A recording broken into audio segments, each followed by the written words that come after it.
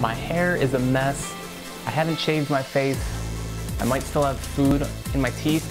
What is so important that I would forego the normal primping?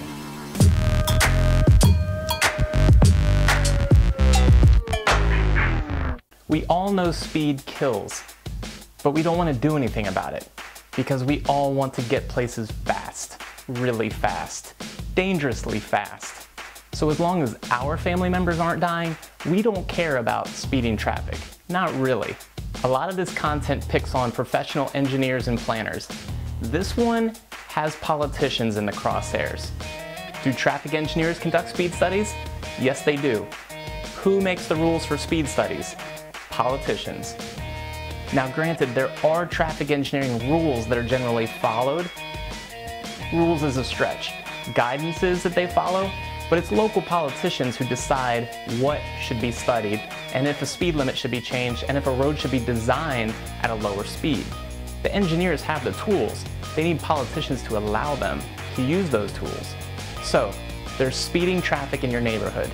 You call the local Department of Transportation, you tell them, look, people are flying by on this street. It's dangerous. My kids can't cross the street.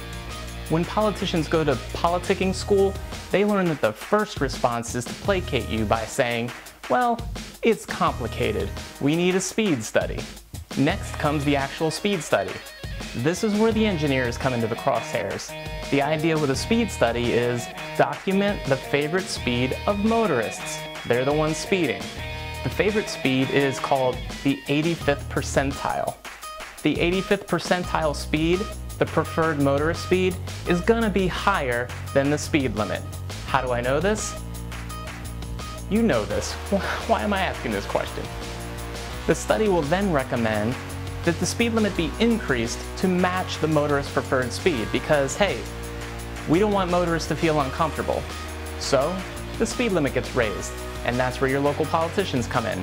They're the ones leading this charge. They say, well, we couldn't do anything. There was a speed study. Turns out cars are speeding. You guys were right. We're going to increase the speed limit. Yeah, I was just thinking we should probably add five miles an hour on top of that new speed limit just to be safe. So there's a recommendation to make the speed limit even higher than it is today, plus another five miles an hour maybe on top of that just to be safe. And you're in a worse situation than you were before.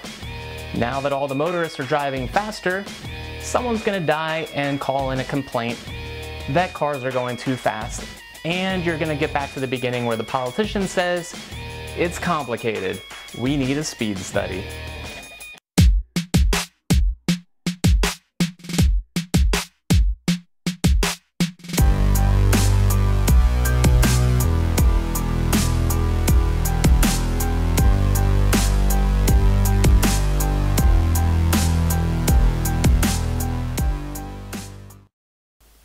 I'll probably primp better before the next one.